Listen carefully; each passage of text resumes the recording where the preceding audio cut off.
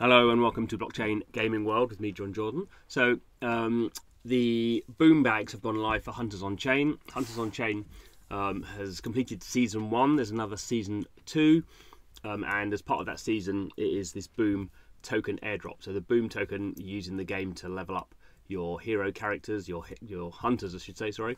Um, and also, it's an ecosystem token that will be used for some other games that are uh, being released by the company Boomland. Um, so one of the interesting things here is the Boom token isn't actually live on the Immutable ZK EVM blockchain.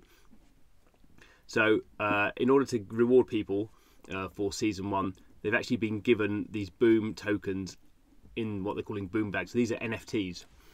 So we can see here, there's different. Um, uh, each boom bag contains a different amount of boom, so a, a thousand up to uh, a uh, hundred thousand. But they're also timed, so as you can see here is month one and month zero. So these um, NFTs, um, basically, when the token, the boom token, goes live on Immutable, if you have a month zero one, you can, you will be able to burn that NFT sort of destroy that NFT and get, in this case, a thousand boom token or five thousand, depending on what you've got. If you have a month one, you have to wait a month. So, as we would expect, the month one um, NFTs are cheaper than the month zero ones because obviously you have to wait a month extra. Um, so, an extra month of uncertainty here.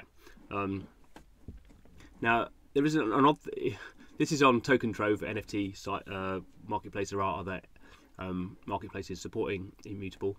What's interesting here, you can see, is the um, sequence goes 1,000, 10,000, 5,000, 1,000, 5,000, 10,000, 50, 50, 100, 100. So the odd thing here is these 10,000 month one uh, boom bags are wrongly priced because these are actually cheaper than the 5,000 ones. Um, the reason seems to be is you can't actually buy these.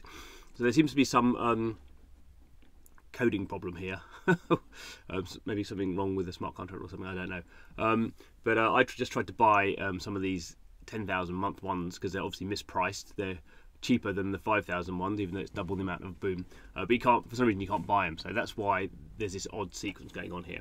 Um, but if we go and have a quick uh, look, um, obviously, as I tend to do, I put all this in the spreadsheet. So we have the boom, the month, how much it costs, um, and then we can see the price of Boom. So this is sort of giving us initially a um, you know an idea for how much Boom is going to cost when it goes live, or is what people think. So they're currently pricing it at 0.005 effectively. So half a cent um, is the price of Boom if you're getting it for the month zero ones, and it's pretty all pretty consistent. Um, you know, there's a bit of variation, but not much. For the month one Boom, that's obviously going to be cheaper that's 0.02. So um, uh, two thousandth of a dollar. Um, and you can see here, this is where the sort of the odd the odd pricing is happening here, where the the the, uh, the actually the 5001 is is, is um, priced too high, um, but you're taking an average of that. So um, so that's sort of what's happening. Why people might want boom is obviously if you if you have the boom zero, is you can sell it straight away when the token goes live. Guess the other interesting thing here is um, if you want to use the boom token in the game, um, you can. It doesn't matter what month boom bag you burn effectively. So you could. So basically, for people who are playing the game and want boom to upgrade their hunters, they would be better off buying the month one because that's cheaper. Um, actually, sort of about, um, so the the month zero boom is actually almost three times more expensive than the month one boom if we do just divide 2.7 times.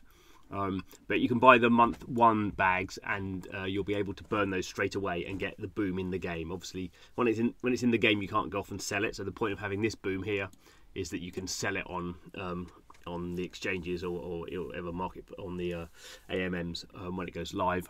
I'm not quite sure when that is, um, I think sort of fairly soon.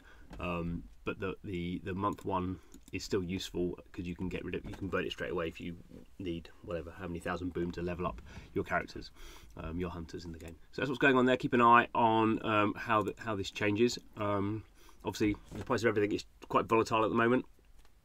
Um, so uh, I imagine these these will uh, the prices will sort of um, who knows which way they're going to go, but um, probably be volatile as well. Um, and certainly until we get more information about when the when the TGE is happening, and we can see actually people are buying these. So um, just wait for this. So people are buying these boom bags. Um, you know, quite a variation of, of, month one. Month ones people seem to be buying because they were sort of the cheaper ones, and if you know you're going to use it in a game, then that's sort of um, you know good. Seems like a good a bargain. Um, has anyone sold any 100,000 ones? No, people generally going for their thousand. Um, it looks like that's the most popular. Um, yeah, not seeing any any 50,000s either. So uh, people sort of keeping uh, um, just being a bit cautious, I suppose, because stuff's so volatile.